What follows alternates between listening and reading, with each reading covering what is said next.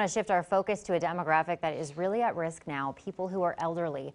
For some context on the state's response on that front, KXAN's Tom Miller talked with Alana Rocha of the Texas Tribune. Today, they discussed the threat facing seniors, particularly in nursing homes.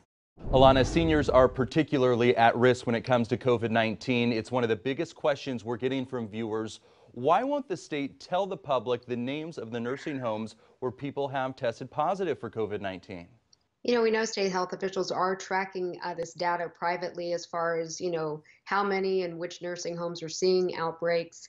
Uh, as far as why they're not disclosing it, it could be because, you know, of the 1,200 nursing home facilities that are licensed in this state, about 990 of them have histories of citations because of not practicing proper infectious disease control measures.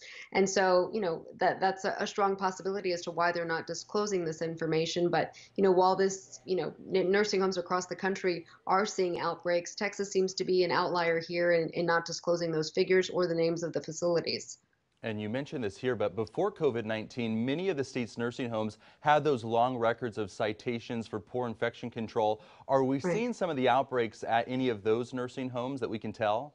Short answer is yes. Our Edgar Walters, health reporter at the Tribune, uh, did his own analysis in, in the absence of, uh, of, state data and found about 320 uh, residents and staff at nursing homes were infected with COVID 19, uh, and of those, about 18 uh, have died. But again, that's not the full picture, and we don't know exactly uh, how many facilities um, have outbreaks. Again, that's just doing piecemeal work as far as calling different counties.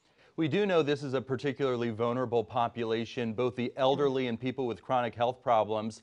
Are families of nursing home residents getting any sort of assurances from officials?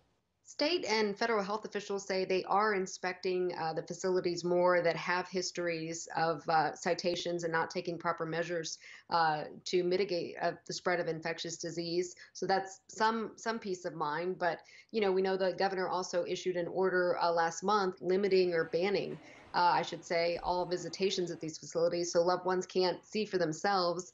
Uh, their best bet is to FaceTime uh, with their loved ones, which many are doing.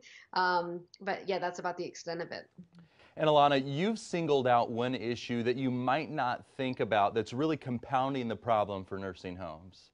Yeah, a UT professor said many of these nursing home staff are are not paid well, and so many work at several facilities, which uh, you know, will only contribute to the spread of COVID-19. So they're saying that, you know, nursing homes should require that their staff only work at one nursing home, but again, they'd have to, to boost their pay in order to, to make it worth their time. So uh, there's no mandate to do that at this time. All right, Alana Rocha with the Texas Tribune, thanks for being with us. Thank you.